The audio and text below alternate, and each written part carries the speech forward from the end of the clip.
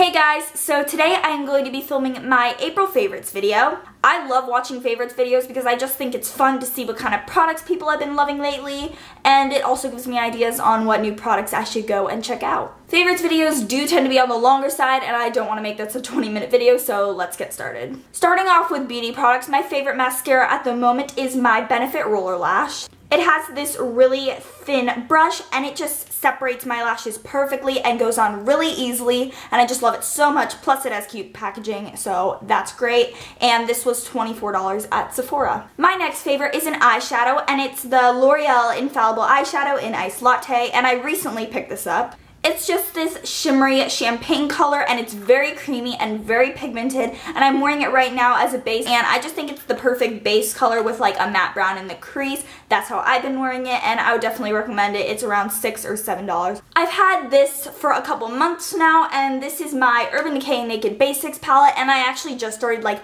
really getting into this palette.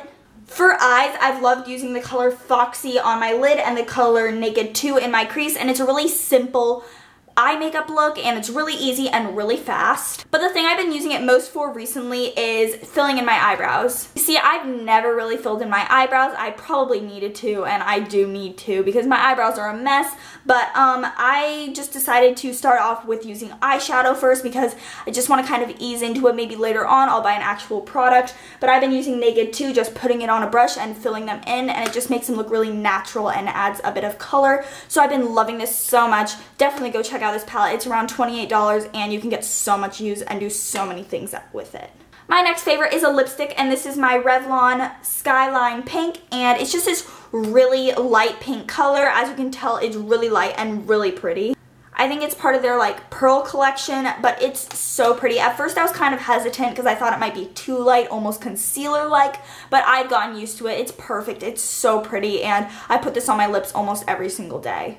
This was probably around like $6, but I'm not sure. On top of my lipstick, I've been wearing my NYX Butter Gloss in Creme Brulee, and I know this is really popular, but I love this lip gloss. It's a really pretty pink nude look, and it goes on really easily and stays on for a few hours, and I love it, and this was only $4, and I like using these two products together to create a really pretty natural pink lip look. Moving on to fashion, I just have a few clothing items to show you guys, so I'm just gonna get into that. Recently, I've been wearing more like just basic tees with like jewelry or just like basic clothing that's comfy but still cute and I don't know I just have a few shirts to show you that I've been loving and also to kind of give you a sneak peek into my style. So I have two of the same shirts and these are both from H&M they're the same exact one um, I have it in black as you can see, and it just has this little front pocket. I love these shirts. Um, and then this one is just a white one with black stripes. They're from Brandy Melville. This one's actually just a tank top, and I've been loving really cute tank tops now that it's springtime.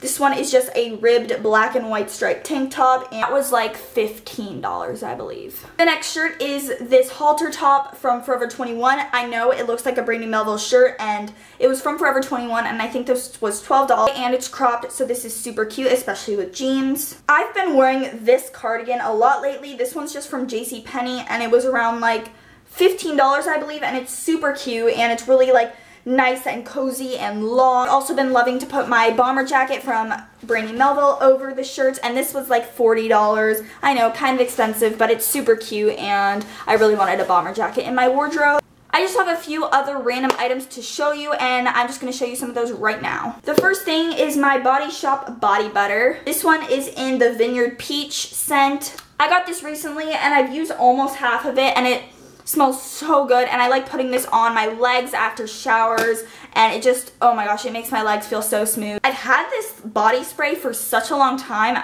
probably like three years now, but this is the Victoria's Secret Love Spell one. It just smells like cherry blossom and peach, that's what it says. It's just really fruity. I've just been spraying this on as I'm running out the door for school and it's not too expensive for Victoria's Secret stuff. Like $12, $15. If you follow me on Instagram, then you would have already seen this, but I made a pretty big purchase recently, and that is on my Michael Kors wallet.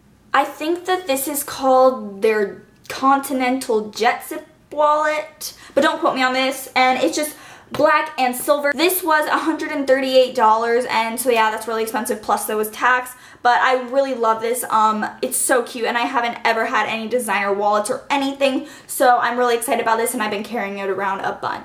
I don't have a physical item, but I do have my ticket, but my last favorite for this video is the movie The Longest Ride. The guy was super hot. It was such a great movie. I cried three times. Um, it was just like another Nicholas Sparks movie, so if you like movies like The Notebook or Dear John or The Lucky One, then you'll definitely like this movie.